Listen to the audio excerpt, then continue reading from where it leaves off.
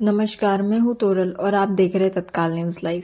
दिवाली पर आतिशबाजी के कारण मुंबई सहित ठाणे पुणे और पालघर में कई जगहों पर आगजनी की घटनाएँ हुई है।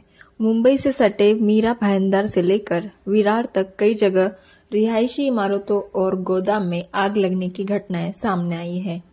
मीरा भाईंदर रोड पर गोल्ड नेस्ट परिसर की एक इमारत के तीसरे मंजिल पर मौजूद घर से आग लगी तो वही दूसरी घटना काशी मीरा परिसर में पड़ने वाले वेस्टर्न होटल के समीप इमारत में ग्यारहवीं मंजिल के घर में आग लग गई थी।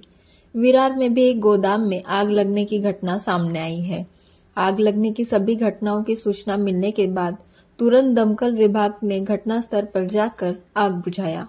आग में किसी के जलने की कोई खबर नहीं है। पुणे से भी रात में आग लगने के छह कॉल मिलने की खबर है। मुंबई के गोकुल धाम में एक इमारत की सातवीं मंजिल पर आग लग गई थी। इसके अलावा भी रात भर दमकल विभाग की घंटी बजती रही। हालाँकि मुंबई में अभी तक कुल कितने कॉल आए, इसकी संख्या दमकल विभाग ने नहीं बताई है।